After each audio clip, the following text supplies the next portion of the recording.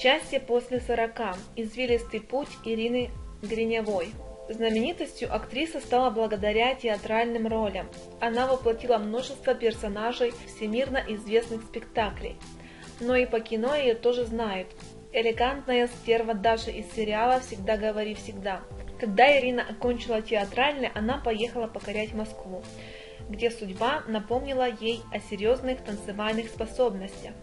Без проблем Ирина окончила класс экспрессивной пластики Анатолия Васильева. Педагоги говорили, что Ира ошиблась дверью. В танце она может оказаться куда больше, чем в драматическом искусстве. И ругали ее за то, что ребенком не стала участвовать в балете. А она лишь улыбалась, считая, что профессию выбирала самую правильную. А на вопрос «почему?» отвечала четко. В детстве без памяти влюбилась в Олега Янковского и мечтала, что может стать артисткой и его женой. Женой она действительно стала, только не Янковского. О первом браке Гриневой почти ничего не известно.